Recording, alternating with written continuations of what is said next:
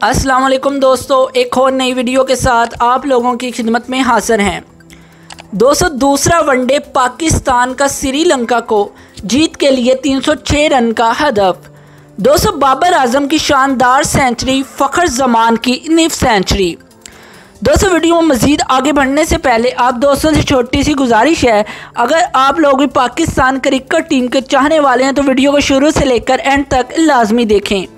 دوستو ویڈیو اچھی لگنے کی صورت میں ویڈیو کو زیادہ سے زیادہ لائک اور شیئر کریں۔ دوستو، اگر آپ نے ابھی تک ہمارے یوٹیوب چینل کو سبسکرائب نہیں کیا، تو برائے مہربانی ہمارے یوٹیوب چینل کو سبسکرائب کر دیں اور ساتھ میں گھنٹی کے بٹن کو پریس کرنا نہ بھولیں۔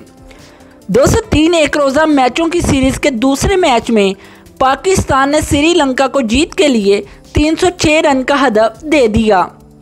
دوستو، کراچی کے نیشنل سٹیڈیم میں کھیلے جا رہے میچ میں قومی کرکٹ ٹیم کے کپتان سرفراز احمد نے ٹاس جیت کر پہلے بیٹنگ کا فیصلہ کیا۔ دوست، پاکستان کی جانب سے فخر زمان اور امام الحق نے اننگ کا آغاز کیا۔ دوست، فخر زمان اور امام الحق نے ٹیم کو تہتر رن کا آغاز فراہم کیا۔ دو سو امام الحق اکتیس رن بنا کر آؤٹ ہوئے۔ دو سو فخر زمان نے اپنی نف سینچری مکمل کی۔ دو سو وہ چرنجا رن بنانے کے بعد پویلین لوٹے۔ دو سو بابر اعظم اور حارث سہیل کے درمیان ایک سو گیارہ رن کی شراکت قائم ہوئی۔ دو سو حارث چالیس رن بنانے کے بعد رن آؤٹ ہوئے۔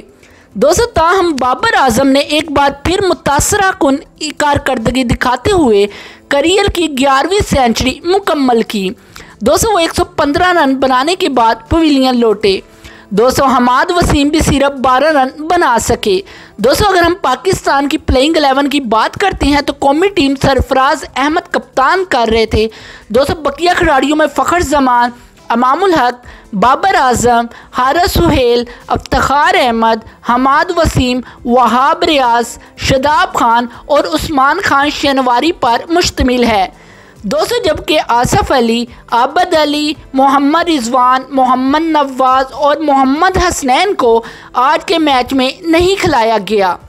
دوستو یاد رہے کہ پاکستان اور سری لنکا کے درمیان پہلا ون ڈے بارش کی وجہ سے منسوخ ہو گیا تھا۔ دوستو پی سی بی نے اعلان کیا تھا کہ جمعے کے میچ کے لیے خریدے گئے ٹکٹ تیس ستمبر یا دو اکتوبر کو ہونے والے میچ کے لیے استعمال کیے جا سکیں گے۔ دوستو، آج کا میچ کون سی ٹیم جیتے گی؟ ہمیں اپنا جو آپ کومنٹ میں لازمی دیں۔ دوستو، اگر آپ کو یہ ویڈیو اچھی لگی ہو تو لائک کر دیں شیئر کر دیں اور اگر آپ کرکٹ کی لیٹسٹ نیوز دیکھنا چاہتے ہیں سب سے پہلے، تو بالکل فری میں ہمارے یوٹیوب چینل کو سبسکرائب کر دیں۔ اس ساتھ میں گھنٹی کے بٹن کو پریس کرنا نہ بھولیں۔